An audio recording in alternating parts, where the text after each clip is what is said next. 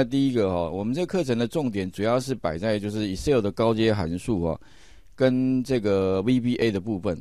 那 VBA 当然哦，其实这个就已经牵涉到城市设计了，对大家来说其实难度比较高。如果完全没写过城市的同学来说哈，应该会是一个困难的点。好，那当然我们开个头啦。那另外的话，相关资料哈，假如说，因为我我这边总共会有六个题目，那六个题目的答案其实都在这里，云端上面其实都有。哦，那因为今天只有三个小时时间，其实其实相当的。呃，不足啦，所以其实哦，假设你后续想要了解的话，其实可以再到云端上面去找找相关的资源。那待会的话呢，我简单说一下，因为我们今天只有三个小时的课，那这个课程实际上理论上都至少会三十个小时以上，等于十倍的时间，而且等于是十分之一的时间哈，要讲这么多，所以我就挑一个重点，我们先从第一个函数哈开始讲起。所以待会的话呢。我会简介一下，然后呢，大概说一下有一些参考书目，好，然后呢就开始来讲解有关文字与资料函数的相关问题跟解决的方式哈。那首先的话呢，哈，呃，当然这个课程目标主要是希望能够提高工作效率啦。那当然你如果呃可以提高工作效率，自然你工作起来其实会相对有成就感哦等等的。那里面的话，当然你至少要了解几几件事情，第一个。到底 Excel 内建有多少个函数？好，理论上当然两百五十几个。那两百五十几个这么多函数哦，我怎么可以，诶，快速的了解这些？当然，其实主要还是用理解的。因为如果你了解那个函数的使用方式的话，那其实很容易你就知道该怎么去使用函函数的一些相相关的秘诀了。哈，OK。那自然而然，你即便没用过的函，诶，是，喂喂。哎，如果即便是你没有用过的函数啊，你也可以很快的就可以知道该怎么用了。嘿，那另外的话呢，哈，啊，OK，好。那另外就是说呢，哈，那个呃，假设 Excel 里面的一些相关功能哈，内建假设，呃。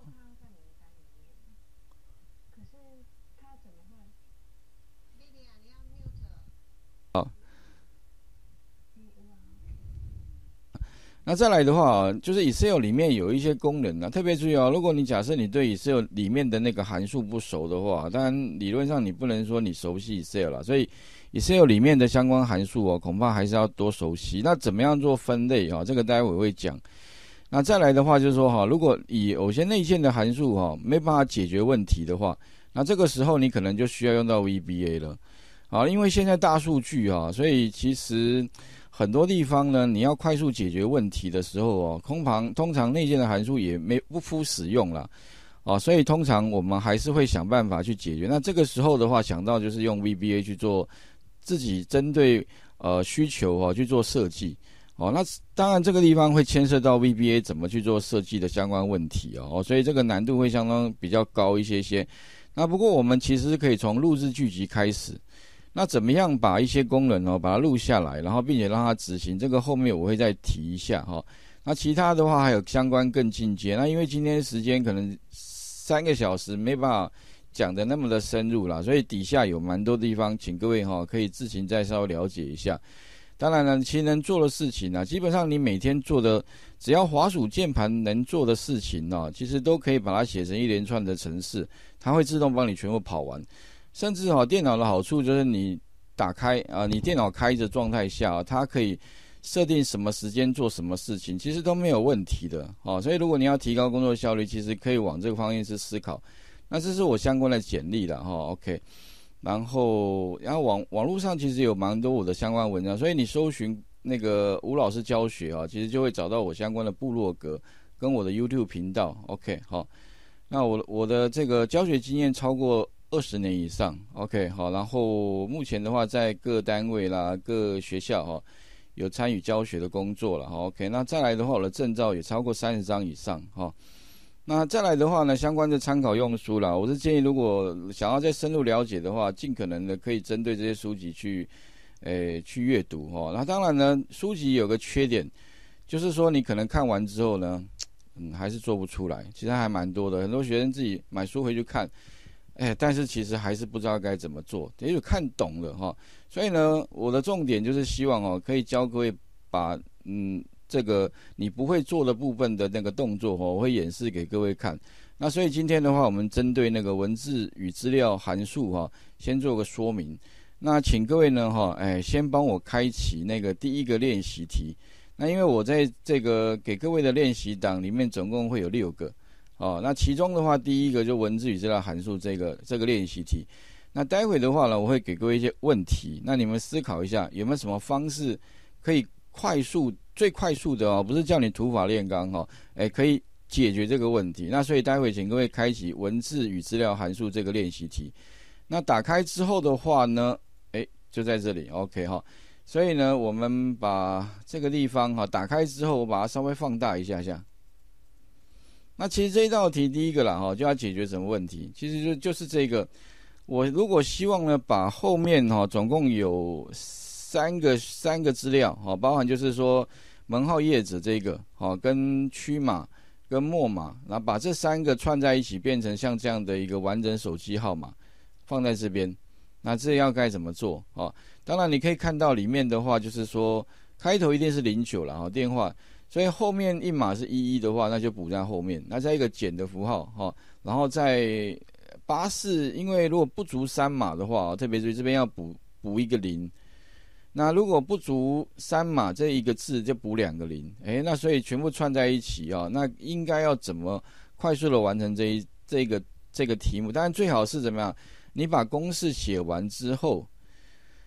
然后呢，直接向下填满，因为有个空点，好，向下填满就全部 OK 了。也就是你只要写一个公式，那其他动作就不需要重来了。也不是不是说叫你要土法炼钢，但是问题来了，你需要用什么样的呃函数哈，诶，建立一个公式可以完成这这一个呃问题。当然前面这两这两个部分比较简单，就是说如果你把游标放在资料编辑列等号哈。开头一定是零九嘛，所以我就用双引号开头零九，那表示说我先串一个文字，好零九开头，然后呢 end，那这边有个重点啊，如果你要串这个储存格的话，你一定要一个 end 符号串接，这个啊底下的话就把这个储存格点选或者直接输入 F 四，然后打勾了，当然你不用全部做完，好你打勾之后其实它就会先显示了，那后面的话呢再加一个减号，所以 end 哦再串一个减的符号。那特别注意啦，就是说呢，只要是一个符号、一个文字哦，前后都要加双引号，这个是规则。OK，那再来的话就是八四，哎，那八四的话就是说我要在前面补几个零，呃，那这个啊，当然这个补一个零，这个补两个零，那这个像九九九这个就不补零。可是我要怎么知道要补几个零哈？其实这边的话会牵涉到我要补几个零的问题，这个时候的话，你恐怕就需要。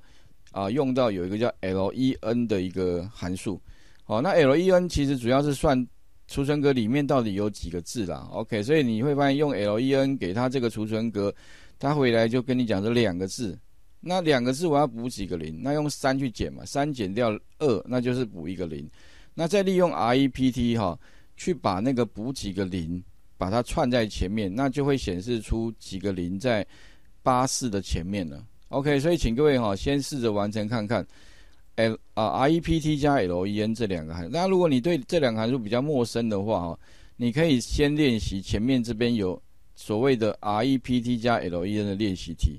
那我们可以切到前面来，比如说我要补几几个星号好了，像这个是一百一百笔给一颗星嘛，所以你可以插入函数的地方哈，然后找到什么？这个我一般习惯按下插入函数的时候哈。我会呢，先用类别的方式去选取，所以呢，我一般会先写文字类的。OK，所以这边有个类别叫文字，文字类里面的话有一个叫 REPT 的，那 R 开头的话会放在 R R 的位置。OK 哈，所以按确定之后的话，好，所以一般我我自己个人的使用函数习惯啦，会先用插入函数第一步，第二步的话选类别，第三步的话选它的。这个呃，我的函这个我的函数的嗯这个名称哈 OK，然后呢，另外的话底下会有显示一些它的功能的啊。不过各位如果是英文版的话，那底下讯息也许稍微看一下，它这边会显示说哦，它这个函数主要是能够帮我们重复哪个文字串啊，哪个文字好，然后几次，所以按确定之后的话，会问两个问题。第一个问题是你要重复什么字啊？重复星号。第二个问题是说你要重复几次啊？那就重复一百。嗯，如果你点一百五十八，那就一百五十八颗星出来。可是不是啦，我要除一百啊，每一百笔给一颗星。那其实未满，比如说未满二的话，一百五十八号它。只有一颗星，也就是说，你按确定之后的话，会自动显示一颗星。但是待会如果要向下填满的话，哈，那当然一定会发生错误了。主要错误的原因是因为你的这个星号是在 C 一，可是你向下填满，它一会变二，自动会填，自动会加一。如果你不让它加一的话，你可以在 C 一的前面哈，再加一个钱的符号，把它锁起来，啊，然后把它向下填满。其实打够之后向下填满。那这个问题就解决了，OK 哈，所以这个地方可以练习一下，哎，所以 REPT 其实就 repeat，repeat 什么样的字几次的意思啦，所以其实这个函数啊，主要就是要两个呃两个讯息，一个是重复什么字，重复几次，OK 哈，那这边当然有一个延伸性，就是说一点五八哈，如果你不要，因为你要把小数点去掉的话，其实你外面还可以再包一个 INT。好，前刮弧，在后刮弧，那你会发现 INT 哈，其实实际上指的就是只取整数部分了。不过以这一题来看哈，它好像你不加 INT 其实也 OK，因为它会自动取整数部分而已的。OK，那当然严格一点的，其实就加一个 INT，好，把它包起来，按确定，啊，把它向下填满，那这个部分就 OK 了。那当然我们了解 REP D 之后的话，可以再试试看 LEN。哎，LEN 的话呢？算这个身份字号到底是不是错误的啦？理论上是十个字哈，所以插入函数的时候呢，我们可以用 len 插入一下，然后找到 len，给它身份字号，OK，然后呢算一下是不是十个字。那如果是十个字的话呢，表示正确。那你会发现这边有两个是错误的，马上可以抓出来啊。那当然呢，这边还有其他的文字类函数哦，也许各位也可以试着。呃，把它练习看看呐。当然，比如说像比较常用的像 mid m i d 这个函数哈，那这个 mid 的话，实际上就是 middle 来，指的就是说你要取的是呃某一个文字里面的，不是左边也不是左，它在中间。好像身份证号的第二码是性别，所以如果我今天希望哈，在这边显示性别男或女的话，诶，那怎么样可以把这个结果给显示出来？当然呢。我们第一步一定还是要取身份证号的第二码，那取到第二码之后的话是一，哎，可是问题一是男生，二是女生的话，那当然你这边可能还是需要再加上一个逻辑判断。如果当它为一的时候，哎，那就是男生；如果为二的话就女生。哎，这个可能也许可以试着做做看啊。其他还像什么 left，还有像 right。OK，那 left 顾名思义嘛，从右边算过来几个字。好，OK。然后，right 顾名思义就是从左啊从右边算哈。那这边一样有个练习题，那各位也可以试试看啊。比如说像 left，我希望哈最后得到的结果是他的姓，再加上了他的称谓。称谓的话呢是由性别而来的，哎，所以哦如果吴他性别是男生的话就吴先生，OK，那女的话就张小姐。哎，那我要怎么样可以把这个称呼啊？直接显示出来，哎，那当然这地方还是一样，会需要用到一个 labs 函数，然后再串接它的称谓。那它称谓的话是根据什么？根据性别去判断，所以一样哈，这这个地方还是需要用到一个逻辑判断 if 哦，可以把它做出来。那请各位呢，先帮我开启这个范例哈，然后练习一下这边的相关，我这边显示出来的范例之后，然后呢试着做做看哈，把这边的。这个后面电话号码后面的区码跟末码补零的部分呢，帮分别完成一下哈，试试看。那我我这边的话，先把那个呃分享先暂停一下哈，OK，那试一下这部分。